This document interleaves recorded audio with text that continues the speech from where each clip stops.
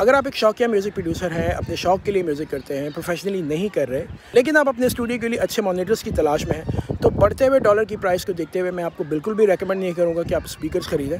बल्कि मैं आपसे कहूँगा कि आप एक अच्छा सेट ऑफ़ हेडफोन्स ले लें, जिस पर आप मिक्सिंग करें। स्पीकर्स लें, लेकिन बहुत हाई एंड ना लें, सिर्फ़ इसलिए लें ताकि आप अपने हेडफोन्स के मिक्स को स्पीकर के साथ कंपेयर कर सकें।